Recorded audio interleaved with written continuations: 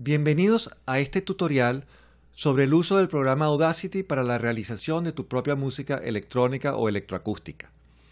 Audacity es un programa libre, gratuito y multiplataforma. Corre en Windows, en Mac y en Linux, lo cual eh, ofrece grandes ventajas. Es un programa muy sencillo, muy básico si se quiere, pero es perfecto como un primer juguete para inventar tu propia música con medios electrónicos. Si consideramos lo que tenían que hacer los compositores pioneros de la música con medios electrónicos, la música concreta, con Pierre Schaeffer, Pierre Henry, en la radiodifusión francesa, y en la radio Colonia, eh, el estudio que fundó Herbert Eimer y Karl-Heinz Stockhausen, eh, pues lo que, todo lo que ellos pudieron hacer con, trabajo muy manual, picando cintas manualmente, se puede hacer con Audacity. Tanto la parte eh, de grabaciones de sonidos reales para luego editarlos y procesarlos, modificarlos, de muchísimas más maneras como lo podían hacer los músicos concretos, como generar eh, ondas electrónicas, o sea, electrónicamente sintetizar los sonidos.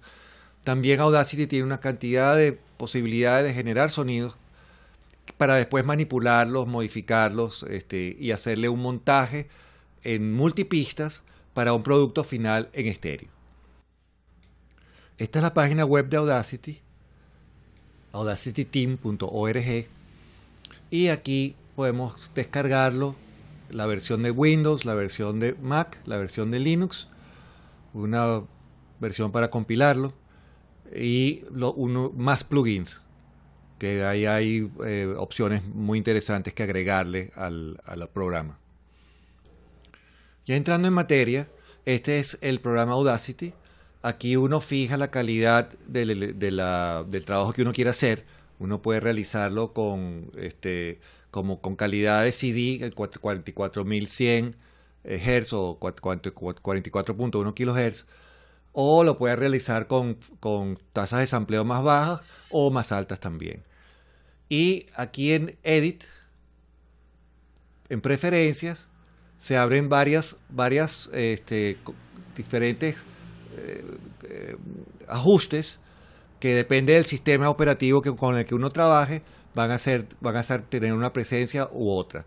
Pero si uno no le suena, por ejemplo, el, programa, uno explora aquí en, cuáles, son, cuáles son los dispositivos que están habilitados para el uso de Audacity eh, qué dispositivos se usan para el playback, eh, cuáles son las condiciones, no dispositivos, sino las condiciones del playback, eh, las condiciones de la grabación y así cada, cada dónde se va a importar y cómo se exporta e importa los, los, archivos y en fin, todo eso que yo toco muy poco. Una vez que me está funcionando ya eso no lo, no lo jurungo mucho.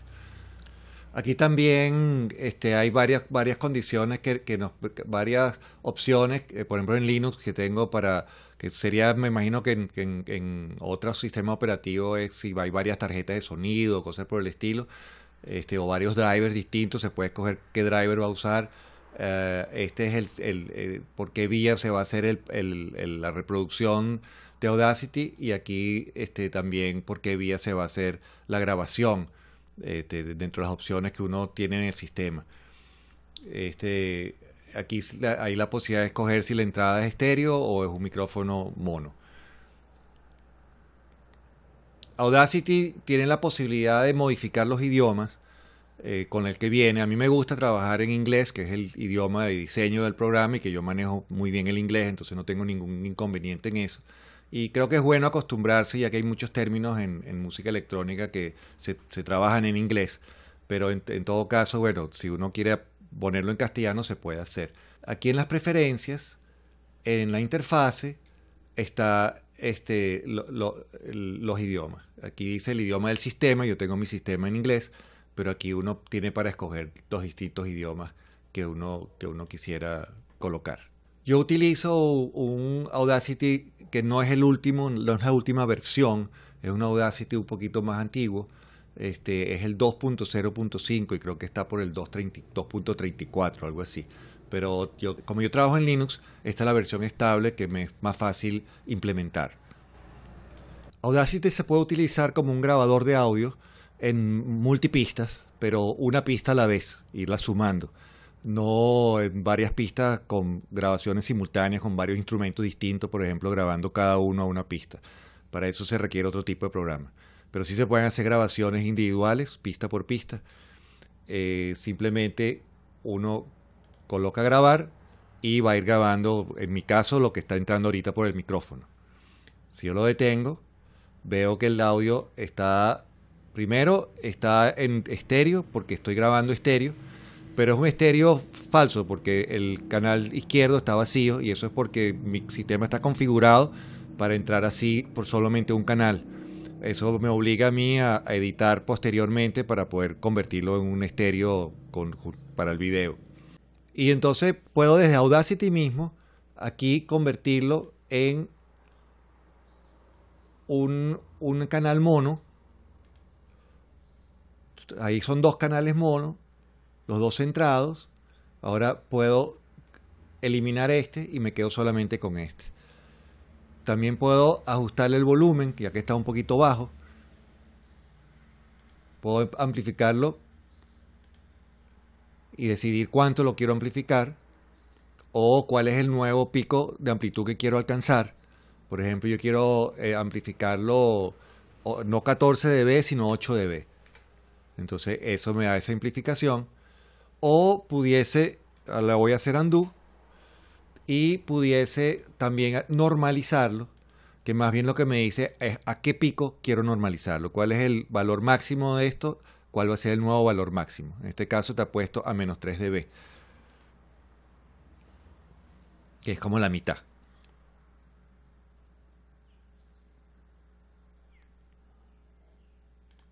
También se puede trabajar con audio que se importe, que ya esté eh, en la computadora en WAV o en IFF. Eh, creo que en MP3 también, él tiene un convertidor de MP3. Entonces uno puede probar con distintos formatos según el sistema operativo que uno tenga y unos formatos que se van a manejar, otros formatos que no. Eh, pero en todo caso voy a importar una... Aquí dice importar audio, etiquetas, MIDI o, data pura. Eh, MIDI no existe como, como para importarlo, eso es este, posiblemente un desarrollo que querían hacer posterior del programa y que nunca se implementó. En audio voy a, voy a eh, escoger este audio aquí, que es el audio de una gallina.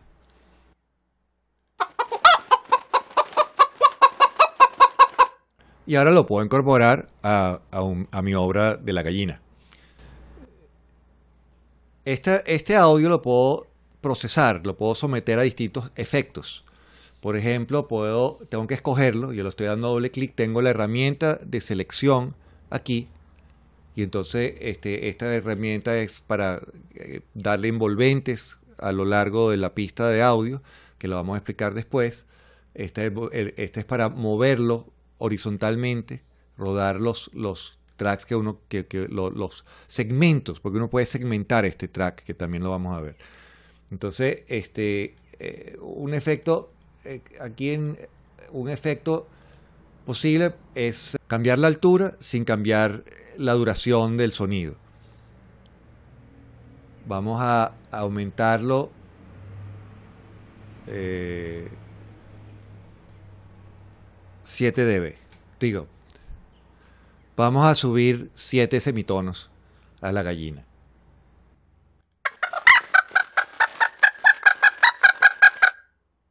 Le hago undo y lo comparo. Vamos ahora a reducirlo más bien con el cambiar pitch y aquí lo, lo bajamos, vamos a bajarlo aquí más bien por porcentaje que también me dice a cuántos hertz lo estoy bajando. Puedo tener un preview, lo puedo escuchar antes. Le digo, yo quiero bajarlo más.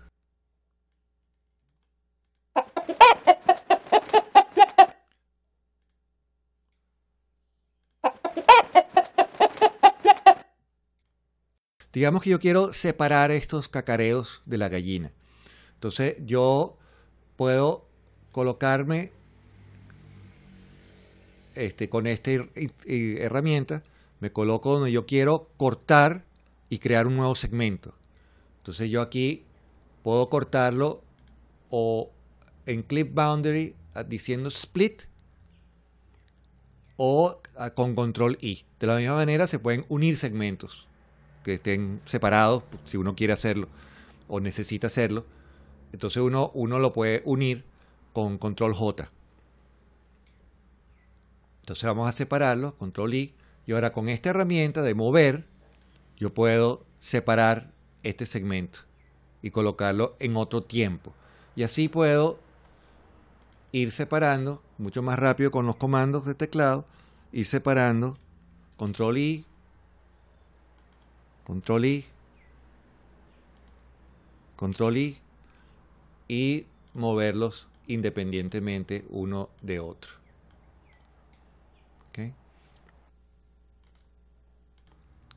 También uno puede estirar este cacareo de gallina muchísimo más y con eso ya convertirlo en, otro tipo de sonoridad.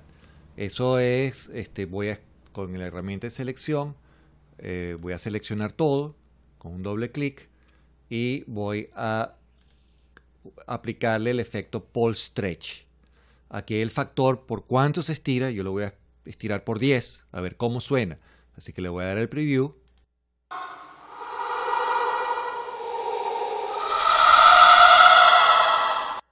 Y me gusta, así que le digo, ok, lo hago.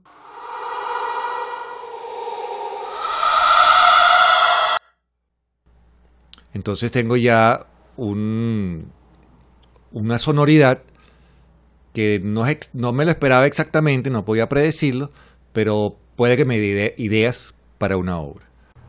A veces uno necesita separar sonidos que están presentes en un track. Por ejemplo, yo quiero separar y aislar, tener uno solo eh, cacareo, tener un solo cacareo. Entonces yo aquí puedo irme a Edit, Clip Boundaries y pedir el Split, que también es Control I. es muy útil los comandos de teclado porque te ahorran mucho tiempo. Entonces yo puedo hacerle el split aquí y después digo, de aquí voy a hacer el otro split. Y, eso me permite con esta herramienta mover individualmente como yo quiero estos splits. Yo voy a crear una nueva, un nuevo track mono. Voy a seleccionar Eh, el cacareo que aislé, lo voy a copiar con control C, lo voy a pegar aquí abajo, escojo este track y lo pongo al principio y ahora lo pego con control V, con paste y ahora lo tengo aislado aquí. Y ahora yo puedo hacerle mute aquí para que no me suene la otra pista o hacerle solo aquí, con lo cual aíslo esto de todas las otras pistas que puedo tener simultáneas. Es una, una muy útil muy usado en grabación multicanal. Entonces ahora tengo este cacareo solo. Digamos que yo quiero ahora hacer un, un, yo quiero aplicarle un delay a eso o hacerle ecos. Aquí hay uno que se llama delay y otro que se llama ecos.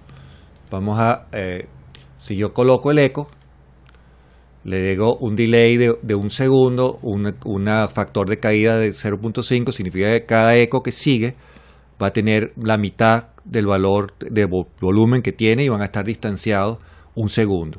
Vamos a poner medio segundo y este, vamos a darle el preview y no ocurre nada, no, ocurre un eco. Si le doy a OK, tampoco ocurre nada, no ocurre un eco. Aquí lo que está pasando es que él necesita un espacio de silencio donde va a colocar los, los rebotes, donde va a colocar esos nuevos eh, cacareos eh, del, eco o del delay. Introduzco un silencio yéndome a, generar y genero silencio. Vamos a generar un silencio de, de 10 segundos. Después lo podemos recortar si es mucho.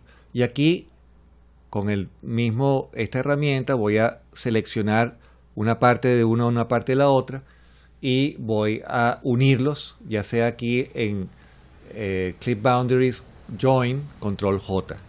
¿ok? Y ahora selecciono todo completo, no, no solamente la cabecita del cacareo, sino completo. Y ahora voy a efecto, voy a, voy a eco, coloco, vamos a colocar 0.25 el tiempo que hay entre eco y eco y un factor de caída de 0.7. Preview.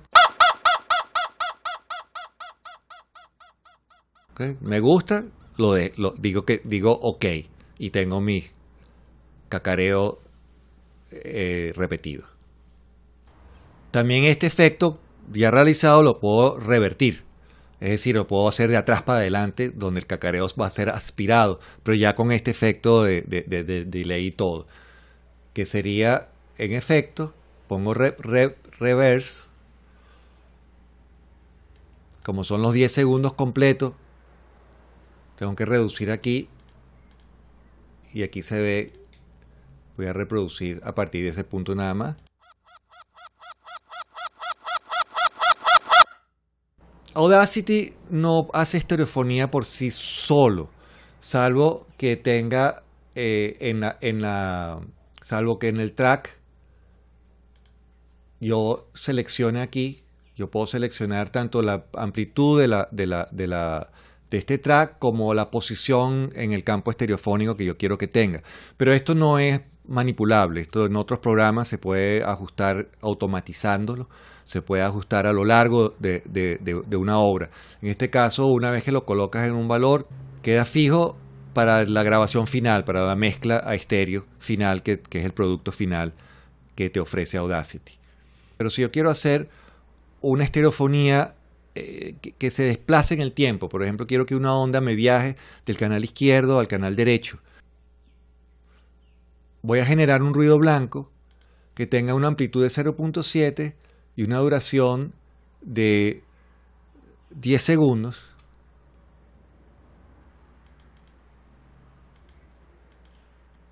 De 10 segundos. Aquí se ven los 10 segundos completos. Podría reducirlo un poco. Perdón, podría reducirlo un poco. Eh, aquí en editar, duplicar, y ahora tengo una nueva pista. Son dos pistas mono. Una la coloco completamente a la izquierda, completamente a la derecha. A veces no lo coloco completamente a la izquierda y a la derecha para no tener una estereofonía tan, tan marcada. Eh, cuando llega al extremo, que llegue eh, a un solo oído, no, me interesa que la obra tenga en ningún momento un solo oído, entonces a veces lo, lo, dejo un 10%, un poquito menos. Eh, entonces yo ahorita, con esta herramienta, que son dos triangulitos, con un puntico en el medio, yo escojo aquí y ahora puedo ajustar la amplitud y puedo crear envolventes a lo largo, puedo crear envolventes a lo largo de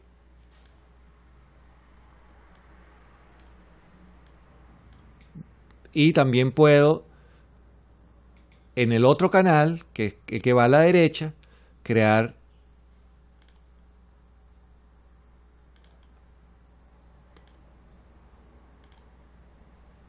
el inverso para que me vaya de izquierda, me vaya viajando de izquierda a derecha.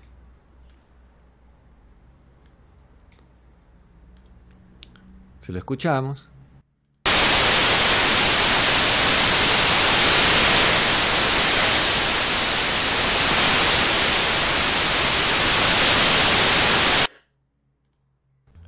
La estereofonía es un parámetro muy interesante que te ofrece la música con medios electrónicos, que desde el punto de vista de, la música instrumental, o se colocan los músicos físicamente separados, eh, o, los músicos corren o caminan con sus instrumentos mientras toquen, pero realmente eh, no es un parámetro que se tome tan en cuenta, salvo la colocación en sí de cada músico, usualmente.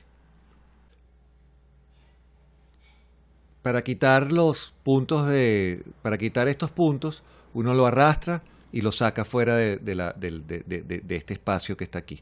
Y entonces uno lo elimina el punto. Entonces hay muchos efectos que se pueden aplicar a los sonidos, seleccionando el sonido y después aplicándolo. Este, cada, pueden explorar cada uno e incluso cuando han descargado más plugins van a tener una cantidad de plugins adicionales eh, para, observar y, probar a ver qué es lo que hace. Claro que algunos de ellos se necesita un poquito más de conocimiento, por ejemplo, para usar filtros, que hace un filtro pasa bajos, pasa altos, pasa banda, elimina banda. Eh, y, otras cosas también que, hay muchas que yo mismo no, no entiendo todavía muy bien, o algunas que no funcionan, o no he encontrado cómo, cómo deberían funcionar. Lo mismo respecto a lo que puede generar Audacity.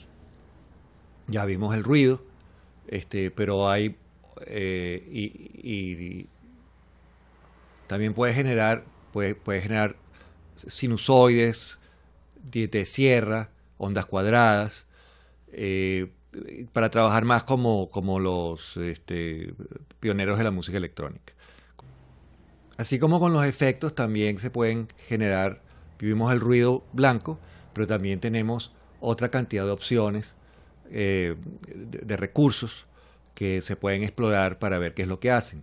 Por ejemplo, este, en, está el, reset drum que genera un, eh, aquí da la frecuencia, dice cuánto tiempo es la caída, eh, el ancho de ruido, eso se explora, se, ensayo y error, se experimenta y uno comienza a entender un poco qué es lo que hace cada cosa.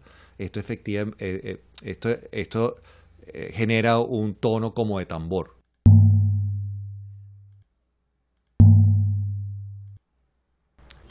También el pluck es un efecto como de cuerda pulsada. Este es, eh, te da la altura MIDI. Esto es un Do, Do central. Te, puede, te dice la duración.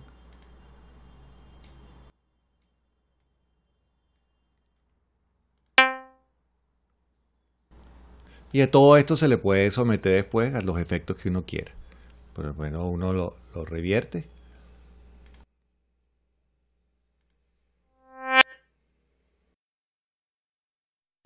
En música electrónica, una de las cosas importantes a evitar son los clics, que se producen sobre todo cuando uno corta un sonido, le hace un corte al sonido.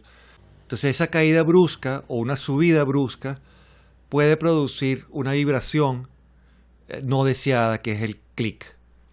Por lo tanto, hay un truco en Audacity, un tip en Audacity, también para sonidos que eh, terminan muy abruptamente o empiezan golpeados, que uno desea que no sea así, es usar el fade in y el fade out. A veces como realmente de forma gradual, para que sea más musical, pero otras veces como simplemente el crescendo y el crescendo, pero otras veces usarlo en, milisegundos, usar unos fades muy cortos, de manera de simplemente eliminar ese clic. Lo que hay que tener cuidado es de, ponerlo realmente al final del sonido y no crear un espacio adicional, pues entonces va a seguir teniendo un corte y ese corte eh, tal vez se reduzca de volumen, pero va a seguir siendo fuerte. Aquí generé unos tonos DTMF que son los de discado de teléfonos por tonos. Y se siente unos clics ahí en esos tonos. Yo puedo reducir la velocidad de reproducción aquí. Puedo escoger aquí específicamente la velocidad dándole doble clic sobre, sobre este botón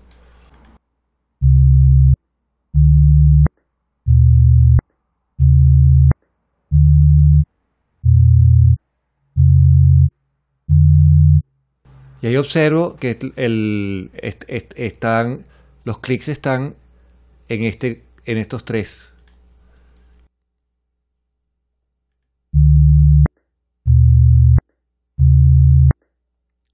Si amplío esto para observar lo que está pasando, veo que termina arriba empieza bien, pero termina con un salto. Por lo tanto, si yo tomo un pedacito y lo reduzco, le hago un fade out, ya lo, lo llevo a cero y escogiendo solamente este, esta parte,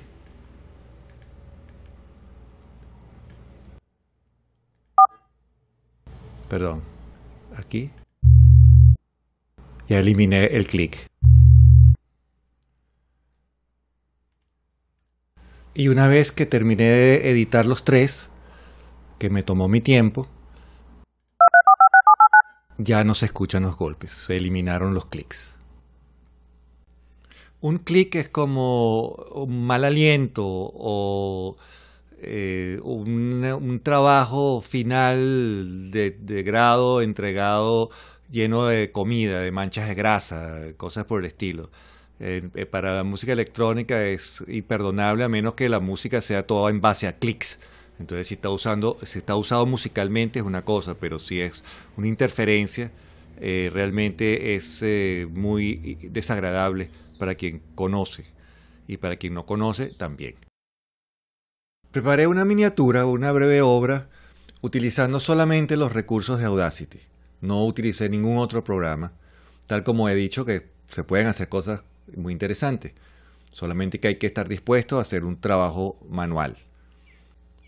Utilicé solamente dos generadores. El Syndrome, que les voy a demostrar cómo utilicé. El Syndrome. Aquí están los distintos parámetros para, para ajustarlo.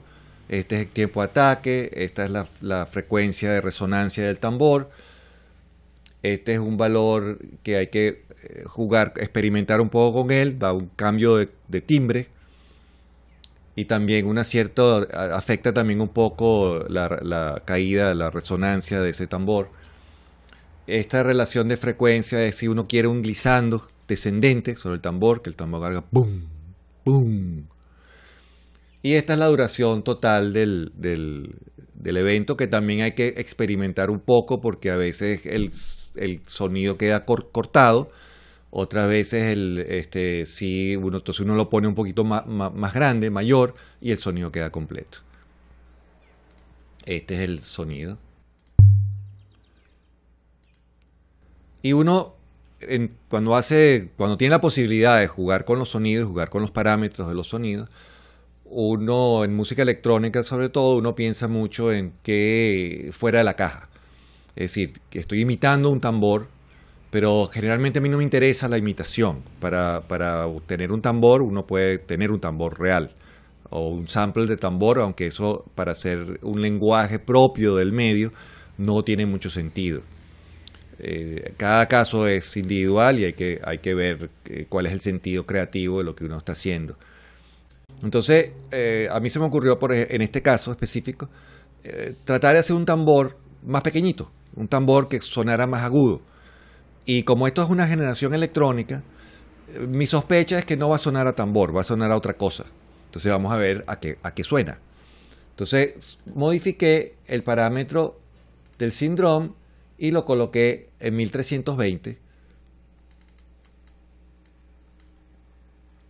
dejando los demás parámetros iguales.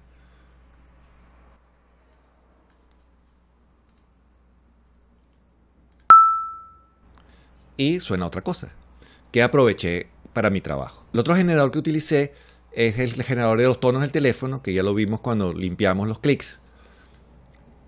Eh, en este caso utilicé como viene originalmente por default, que viene con, las palabras Audacity. Recuerden que el teléfono tiene las letras ABC asignado a, un, a una tecla, el, después viene DF, y así cada, cada grupo de, teclas tiene tres o creo que tres o dos o cuatro eh, eh, eh, letras por, por tecla.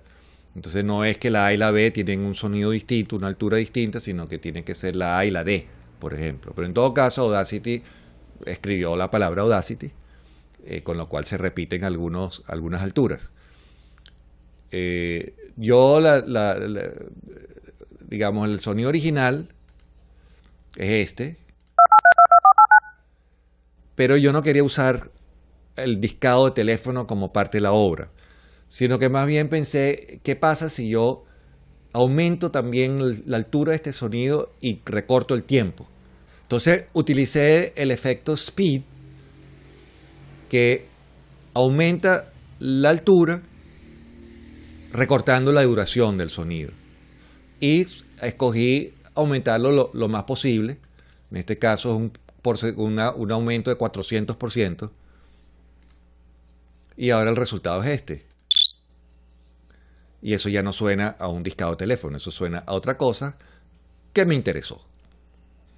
Otros efectos que utilicé para la realización de la obra, aplicándolos a, estos sonidos, fue el, eh, el, cambio de altura, aparte de la, eh, sin, variar la duración, el pole stretch para ampliar exageradamente, si se quiere, el, sonido, el, el sonido colocarlo de atrás para adelante, el reverse, y utilicé reverberación, delay y phaser.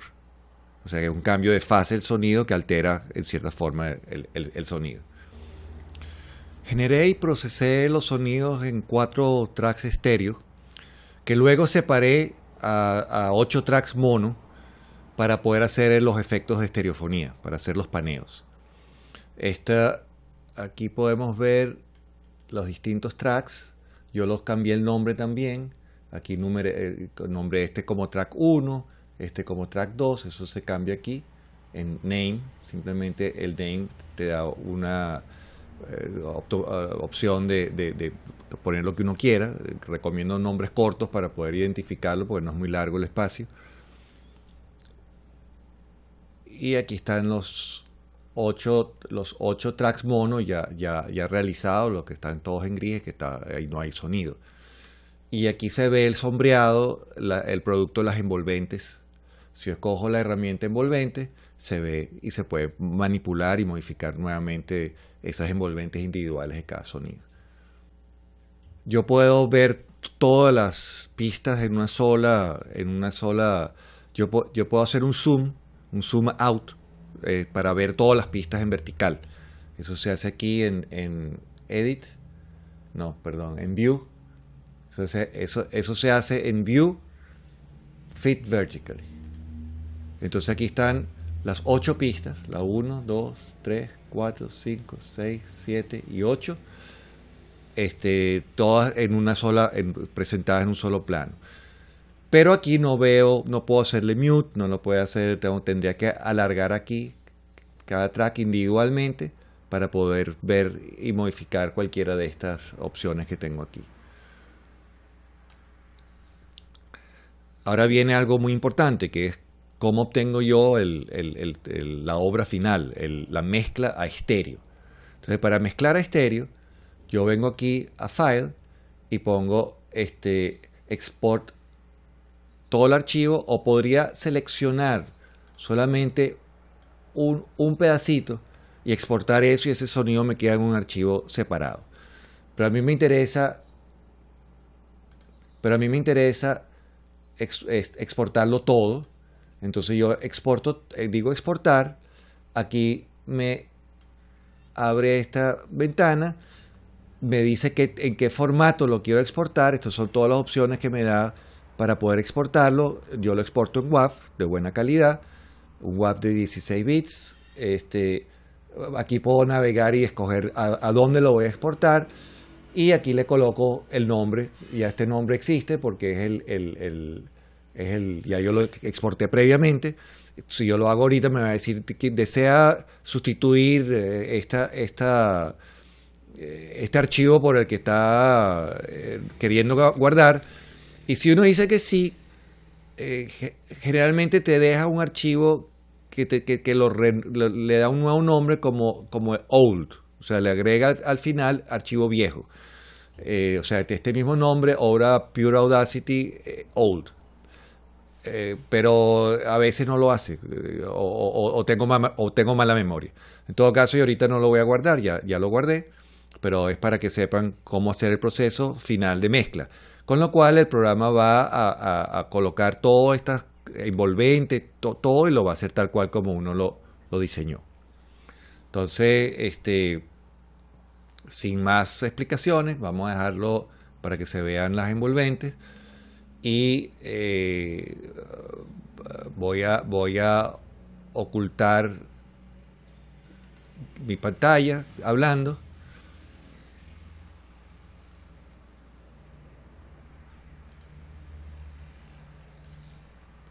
Y escuchamos la obra. La miniatura que, uh, la, que va for, esta miniatura que, que, se agrega a la colección de miniaturas que ya vengo eh, haciendo, que se llama cortos sintéticos. Este es el corto sintético 12. Pero el primero hecho solo en Audacity.